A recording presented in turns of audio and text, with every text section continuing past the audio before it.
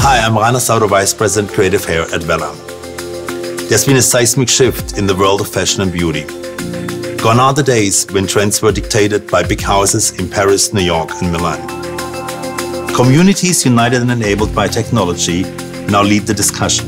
Fashion movements are no longer seasonal. Trends can appear and disappear within weeks or last for years.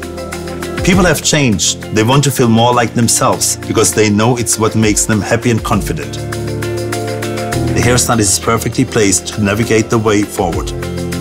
Both a leader and a listener, the stylist can tune themselves to the truth of a client and fuse that truth with inspiration from the world that surrounds them. Our latest color theme is Insta Vintage. It is inspired by an authentic, modern, fresh approach to hair color and to explore different expressions of sophistication.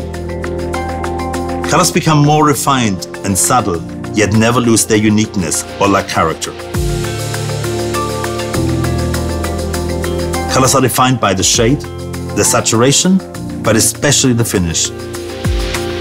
We see a lot of dusty, muddy finishes in all colors. On vintage pastels, blondes, even on muted reds and rich brunettes.